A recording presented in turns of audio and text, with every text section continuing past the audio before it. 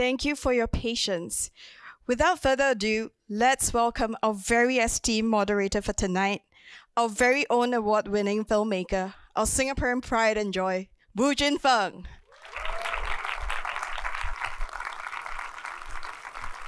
Hi, everyone. Good evening. How are you feeling? Good. I actually see a lot of familiar faces in the audience. How many of you have seen the film already at home and are here to see it again on the big screen? No, not bad, not bad. How many of you are here to to meet uh, our very special guest this evening? All right. Well, he has uh, just arrived uh, today, this morning, uh, and all the way from Mexico City, uh, just to be with us this evening. So please put your hands together for the writer, director, cinematographer of Roma, Mr. Alfonso Cuarón.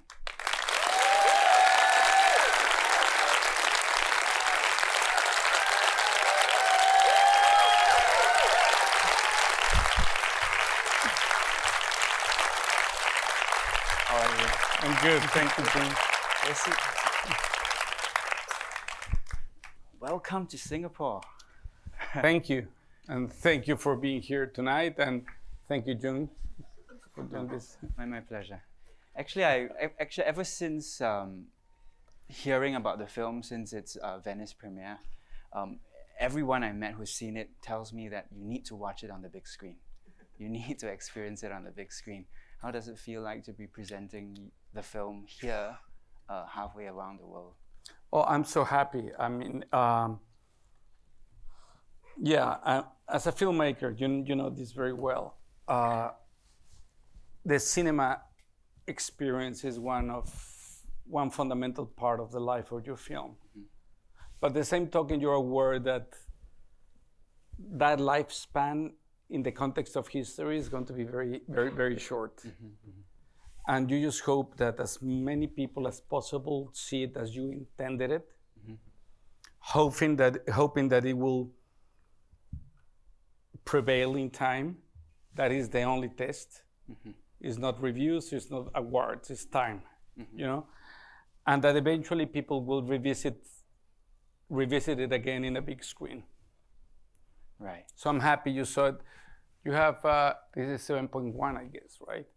This sound here. So I, I Yeah, I'm sure they, they, they spend a lot of time calibrating it. it was perfect. okay, don't worry. Yeah, yeah. so actually, after after making Gravity, which was such a big film for you, um, why why did you choose to come back to make such a such an intimate film, such a personal film?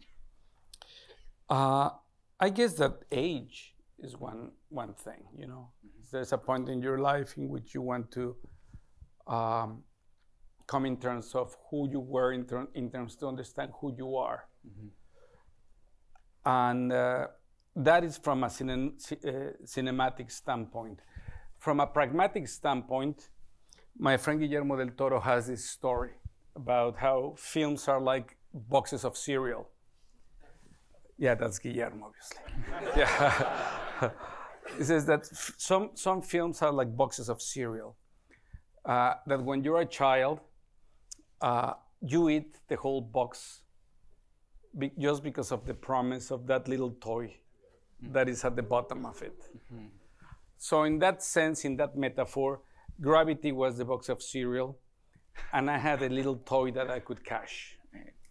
At that point, uh, it started to manifest into a, a lot of opportunities, you know, to do bigger films with more budget and, you know, like, uh, uh, but it's the moment I realized, wow, I can cash this and go back to my country and do a film in my own terms with the tools I've been learning through all this journey doing bigger films. So shot 65 mil, Dolby Atmos, visual effects with MPC and so on.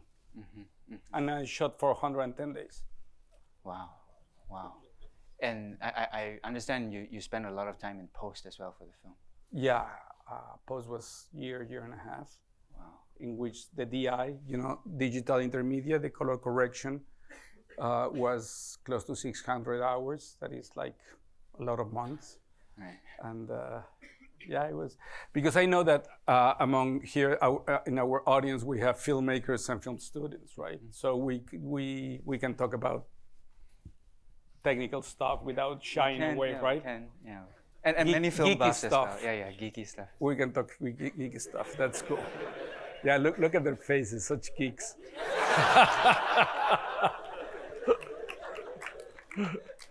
We were talking just before this about um, your your film influences because you're a huge film buff, or you were a huge film buff before.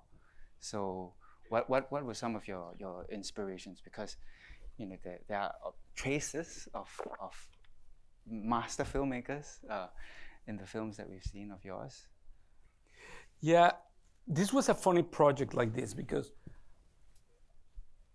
as the point of departure was were my memories, and also I was reinventing my process.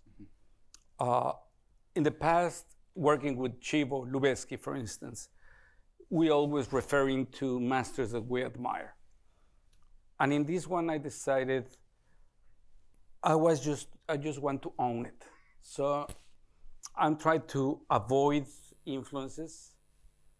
Uh, I'm trying to stay away from references so much that I found myself a couple of times placing the camera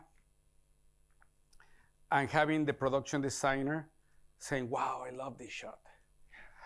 But I was whistling while I was d- placing the camera, and I recognized that whistling from a particular particular uh, Bach tune that is used in a in a film that I love. And I said, "Oh, okay, let's change the angle," and I would change it into another shot.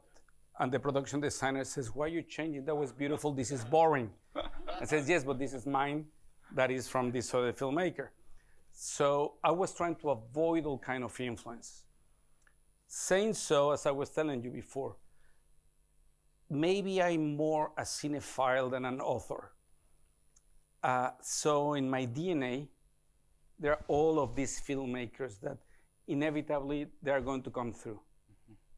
There were only a couple of filmmakers that I was kind of not thinking just because I was trying to avoid cinema during that period. I was reading a lot. And one of the things I was rereading was Bresson's book, uh, Notes of the Cinematographer, you know, and, uh, and good old Tarkovsky's Sculpturing in Time. Right. So probably that the ghost of those guys came through. Right. I think it's. I mean, it's it's it's really.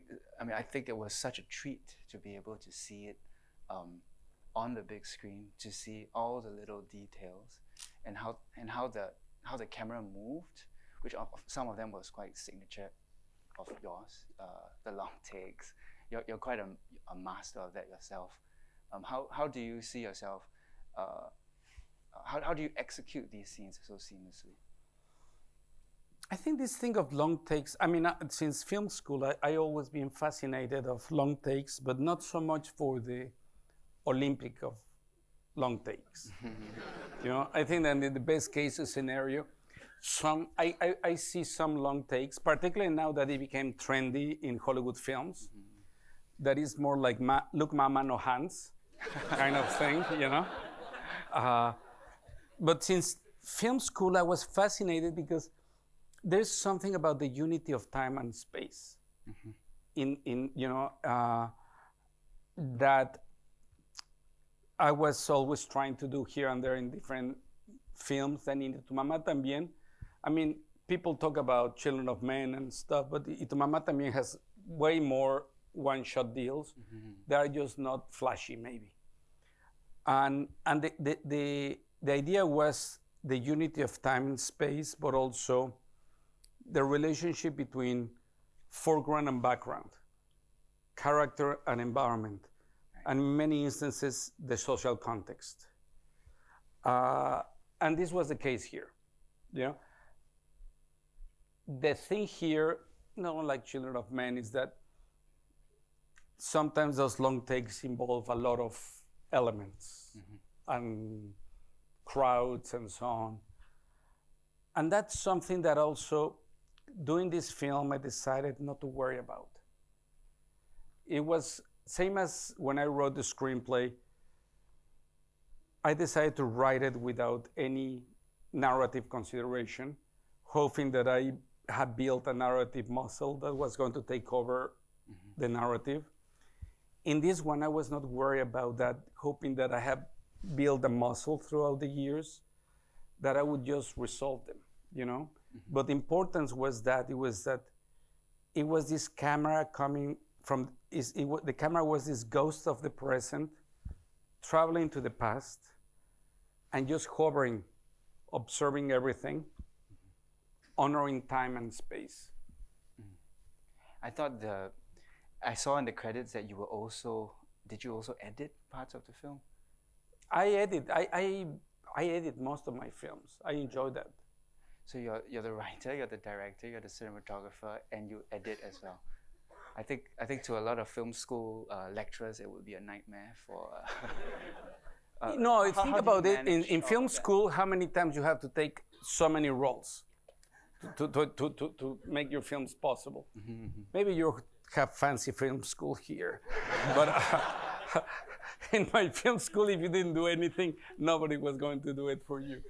Right, right. Well, I, I, I guess it doesn't just apply to film schools. I think any kind of independent filmmaking will require to take you to know how to do all kinds of things, including uh, editing yep. yourself. Look, produ producing is something that I learned later on, just because you want to have control of where things are going. But I always been not stupid enough to to partner with other producers, so I don't have to worry so much during the shoot. Uh, writing, directing, you know, is part of almost, is very organic. Mm-hmm. Editing for me is very organic as well. And it's, it's a moment I enjoy a lot. Yeah. You know, because you have, it's as if before that is just going to uh, get ingredients. Right. And now you're really cooking. Right. You know? Uh, cinematographer was an accident because Lubezki Chivo was going to do it um, because the movie started expanding of, in terms of schedule and stuff, it was not feasible anymore, and he convinced me to do it. and um, I started as a cinematographer. So I had an experience before, and I have to say I had a lot of fun doing it. Mm. Mm. About the casting of the film, I think um, I think that, that the film was inspired by. I mean, the two two strong women in the film uh, were inspired by two women in your life, right? You want to talk a little bit about that? Well, yeah. Everything in the cast was there was just one order to the casting director is that the um, the actors would look physically as much as possible to the original people, mm-hmm. and they would feel the same. Mm-hmm. It was easy for me because I knew them, but for them was tough. Mm-hmm. So they cast like for one year in which I was rejecting a lot of people.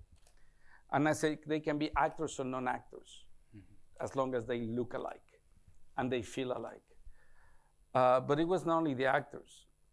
Uh, I wanted to shoot as much as possible in the locations where the place, the, the, the, scenes took place ages, well, ages, I'm old, but not old, you know, like 40 years ago. And um, and if not, to reproduce the places by the inch, and to have the actors wearing the same clothes and having the same props. You know, it was like an exercise of that. And even the house was quite a replica of your. It was a perfect replica. We used 70% of the original furniture that we got. We explored where the original furniture was, wow. and we recover everything. Not only that, every single drawer had the elements that those drawers had ages ago, even if we were not going to open them. Okay. You know, it was a part of. Uh, there's this filmmaker Dreyer, uh, Danish filmmaker, uh, that he wanted things the way they were, and I used to think that it was just insanity. Mm-hmm. Then there's Visconti, who famously had uh, wardrobes filled with the clothes, and they would never open the wardrobes. Mm-hmm. and he cooked uh, for one of his films. There's this big cake that had to be cooked with the original recipe in the 19th century, you know? And I thought it was just like maniac stuff.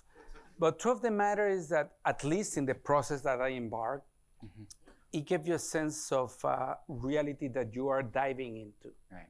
You know, it's not so much for what the literal camera is photographing, but more about the essence of what it's photographing. Right. And and I'm sure the actors benefited from that. So. Yeah, eh, un- unquestionably, because we shot in, in chronological order. Right. So that was very easy for everyone. The difficult thing is that nobody had the screenplay.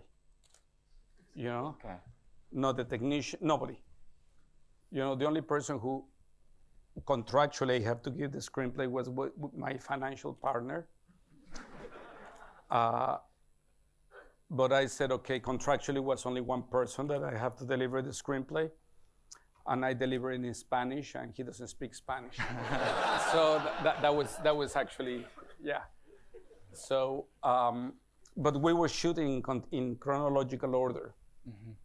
So they, they had to, um, every day they would learn their circumstance. Uh, also, I, I, I would never give instructions to the whole cr- uh, cast. I would talk to each one of them individually. And most of them, the instructions were contradicting the other actor. So, for instance, you saw the film, there's a scene in which uh, the mother is asking the kids to write a letter to the father.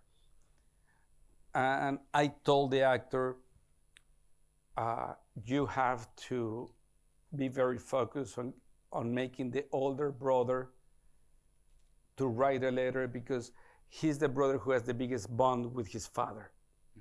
Okay, so that's what this th- the mother knows. So I go at the beginning of the take and I tell the kid, the moment that your mom sta- starts talking to you, you just get up and leave. You know, and it was this whole thing of seeing how the, the normal, the natural reaction in the moment would happen. How do you get the kids to not look at the camera at all? They did. I Uh, eventually, by take 64. Right, right. right. No, they, they did. But you know what? There's a point in because I was given so many contradictory information to each one of them that there was a point they were lost in the in the whole mess because it was a mess. And and I was just there observing. You know, my, my, my thing as a director, I was so used to control the scene. Here I was more interested in stuff that I would never even think that would happen Yeah. you know, in which so random dynamics would happen. Right. You know, there are this scene in the picnic. Uh, same thing, you know. I I would tell uh, uh, Marina, who plays Sofia, you're very scared of the guns. You don't want your kids to go close to the guns. So obviously, I tell one of the kids, just go very close to the guns. you know, and and just a couple of disruptions creates a new dynamic because it's a chain chain reaction with all the other actors. Right. Yeah, and I thought, I mean, that was what was very refreshing about Roma was that there was there was so much space for for for the characters to breathe, and uh, which which I thought was was very refreshing from uh, from from your work, obviously. Oh, thank you. Um, okay, I think I should go to some of the questions that came from online. Uh, from Carlos Aguilar, how important was it to get the dialogue right and, and Mexico City dialect correct? Yeah, well, that that was something very organic because I'm from Mexico City. The slang is called chilango, and um, the actors were majority, except Yalitza, the, who plays Cleo, uh, from Mexico City. The problem was with the kids that my slang was too old for them. so they, they will give all the time like modern expressions, and sometimes I could not use a take because they would use the contemporary expressions. But that, that was kind of the Chilango is something that is organic, except mine is ancient. Next question from Bambi Mo from Los Angeles. Uh, the ocean scene was very moving, uh, and I was being carried away by the waters and the sounds. What was the camera? Uh, where was the camera during that incredible scene in the ocean? And, and I must say that the, the, I thought that the, the ocean scene also beautifully actually mirrors the, the scene of the tiles Yeah. uh, with the water. Uh, yeah. So where were the cam- Where was the camera placed? Yeah. Uh, this is one of those that I would never tell. I mean, when I was doing, I was just trying to solve the situation. But, but it's interesting how even director of photography that I admire, they asked me that same question. and, and what we did is that we had this, we had to build a pier that went all the way from the shade of the where, where she drops the little kid um, but you know, beaches are like this. So we need to build a pier from here to deep into the ocean. The problem that once that you get deep into the ocean, you would be maybe two meters above or three meters above, you know, because of the, the cliff. And so we had a techno crane, you know, it's a crane with a very long extend, extending arm. And that was the thing. The problem we had with that scene is that the day before we shot it, there was a tropical storm that weakened all the structure of the pier. So uh, all day long we were trying to shoot, and the and the crane was derailing. And this is the only take that we got. That we Oh, got really? at the very end of the day when the light was in the perfect moment, in the Wow, perfect yeah. spot. I had still time for a new one, and I didn't want to do it because I was really at that point afraid of the safety of everybody on the pier. Right. But uh, yeah, that was one of those. Wow. Well, I, I, I, I thought that might have been very rehearsed. So Well, it was it was roughly rehearsed because we never we never achieved. We talk about it, right. and and and truth of the matter is that Yalitza, who plays Cleo, she doesn't know how to swim. And the Like, kids, for, the for kids, real, she can't swim. she can't swim for real. Okay. Uh, and the kids, they are very good swimmers. okay. and the kids weren't having a blast. They're kids. They're playing in the waves and pretending they're, you know, drowning. But um, but for Yalitza, she says that she was looking at kids drowning, so she just her instinct carry on. Right. And someone asked me what happened, you know, if she didn't know how to swim and all this stuff, what happened if so, there was an accident? Mm-hmm. And because we were shooting in chronological order, then I would have a different ending. That's always the thing. And no one would know otherwise. Nobody knows that. Uh, but, but then it will cut to, to black Right. in silence, Right. and crates will roll. you know? Like- just like that. Okay, a question from the audience. Um, if you can tell us a, a bit about the soundscapes and in general the sound design, because we were very, we were perfectly transported into Mexico from 50 years ago. Yeah, every city, you know, you know, I mean, like you, you live here in Singapore, probably. Um, the um, every city has a particular soundscape. Mexico has a particular sa- soundscape, and the Mexico of, I hate to say it, but more than 40 years ago, had a, a, a even a very specific soundscape. And as I wanted to honor time and space, I wanted as we said, the, the, this ghost that visits from the present into the past, just observing, hovering there, but inhabiting that space, meaning that all the sound is surrounding, meaning that the space that you experience in the film is not only the experience of the frame, but is the space that goes on. And that's the reason of the, of the use of the surround and this Atmos sound. Um, in order to achieve all some of these sounds, we had to search to where the old vendors that were still alive to reproduce their own chants. You know, but there's a particular chant.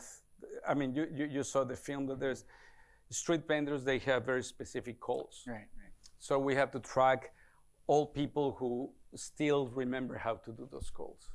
And sometimes they do appear like rather randomly and ju- just come into frame. And I thought it was it was quite a, a, a moment to breathe. Again, it was beautifully done. Well, it's part of, of instead of just following the action, it's following the space. Right, exactly. Yeah.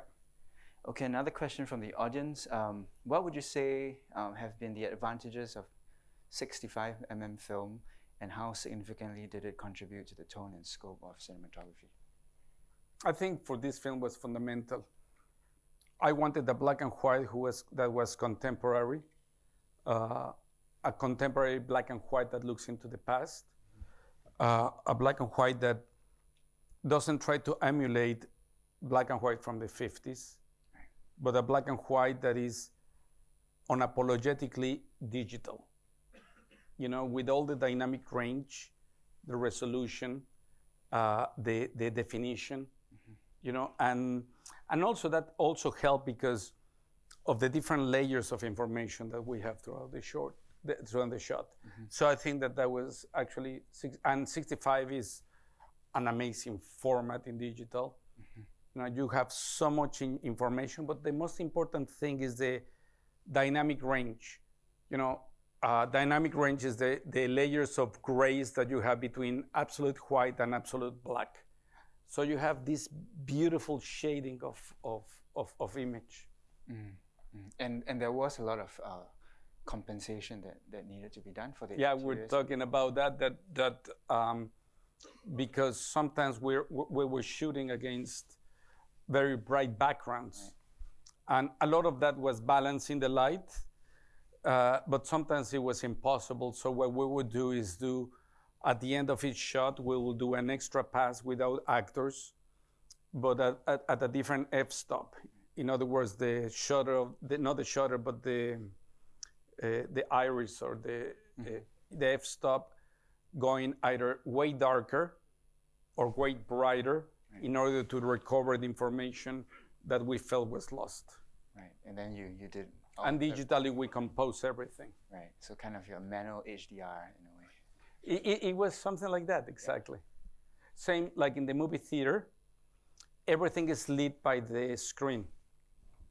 And what we did is that we we put a wall where the screen is, we put a wall of LEDs, and we were showing the film with LED lights, very powerful, projecting into the theater. And then later, digitally, we changed that into the 35 milli, uh, mil projection. So that's that, that effect in which whenever the light changes on the screen, all the light in the room changes. Yeah, I, I, but but you couldn't tell, obviously. No, well, the whole that's the whole point. You, you hope so. You hope that. um, coming back to to um, the cast, I, I thought um, was this the first time you worked with um, someone like uh, like a, a non-professional cast? Well, I work with non-professionals, but either children. You know, I I did uh, I did my second film was a film with only children, and I think most of them they have never done any film before. Or in every film that I've done, I will al- always include non-actors, but uh, in small roles. This is the first time in which most of the film is based upon non-actors Mm-hmm. and just because they needed to feel like that. Not only that, um, like in the hospital, every single person in the hospital, it is what they do in real life. Mm-hmm. The pediatrician is a pediatrician, the gynecologist is a gynecologist, the nurses are nurses, Right. the receptionist is a receptionist. In the street, the policeman is a policeman Right. in real life, you know? So, because they know more than me about what they really do. Yeah, a- and and certainly, uh, was it all sync sound when, when you were doing the the, the, the those tableaus? Oh yeah, it was just production sound. Then later on, to to achieve this separation of sound, we needed to do some ADRs, Right. you know, to to do specific lines here and there. Yeah. Well, um, well, we have a lot of film students uh, in the audience and, and young filmmakers as well.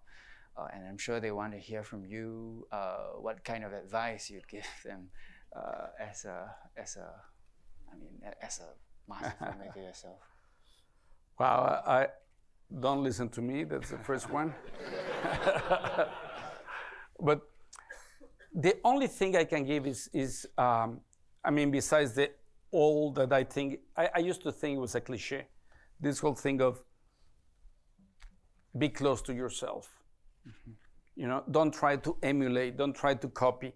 Uh, and I'm saying that because I think I made that mistake in some point of my career to try to uh, either be like some other filmmaker or like try to be commercial or try to engage into some sort of school of filmmaking. Mm-hmm. But it's about your own voice. Your own voice is the most, ultimately, you're looking for commercial.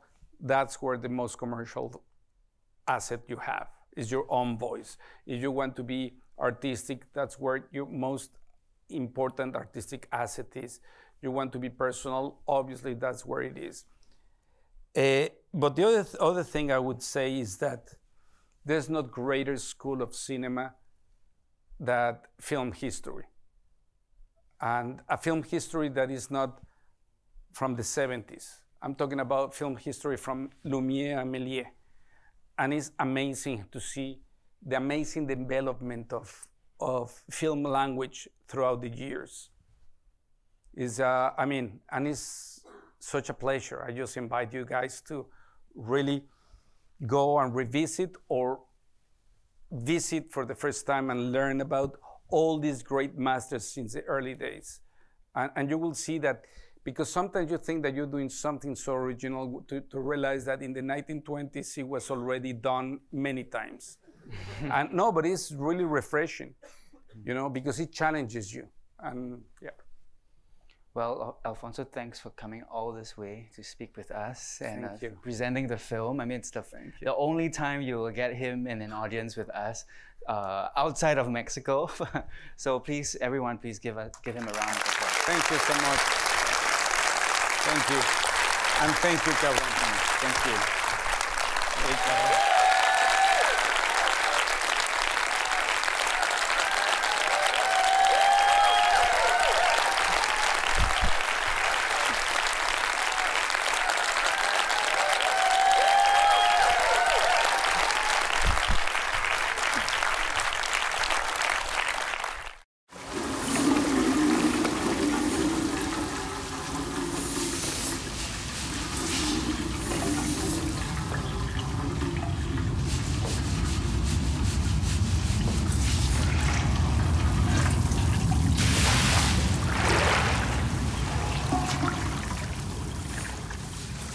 Roma is very personal to me.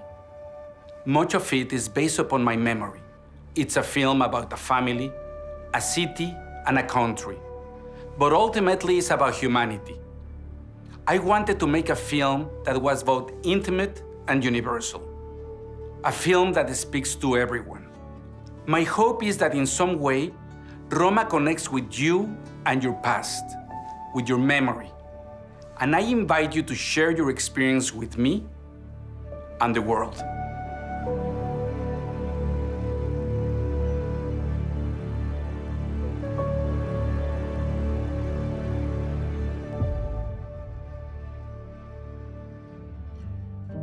Well, we've, we've all had these big moments. I mean, my, my, my parents' marriage split up, and that was a huge moment for me. And you know, and then I lost my mother prematurely. And it, it's these big moments that kind of tear families apart and bring them together. Bueno, yo nací en la Ciudad de México y ver mi ciudad representada de esa forma me llevó a muchos bellos momentos. 彼女はあのあの場所はすごく彼女のふるさとに似た時の景色が Про те, як я приїжджав до бабусі додому, і ми збиралися з друзями, ми виходили, гуляли, якби і в нас було якесь життя, яке я зараз якби конкретно якби не можу згадати, але яке залишилось як образ. І і от цей образ якби я побачив на екрані. El temblor que pasó hace el año pasado, ¿no? El de 19 de septiembre. Cuando me divorcié, tuve que dejar todas mis comodidades, me quedé en la calle y tuve que empezar a trabajar como trabajadora doméstica. When my father passed away when I was 16, 17 years old, um, without warning, It changed, it shifted our family. It was my mother and my um, and their five children. I was one of one of five. Los recuerdos que más me trajeron son de, los de mi infancia. Yo vivo en esa colonia, yo vivo en la Roma y justamente mi casa está a unas cuadras de Tepeji y Monterrey y refleja una infancia que yo no me acordaba y está retratada de una manera tan verídica que en verdad esos cruces de esas calles no las reconozco ahorita. Es un trabajo asombroso el que hicieron para hacer esta película.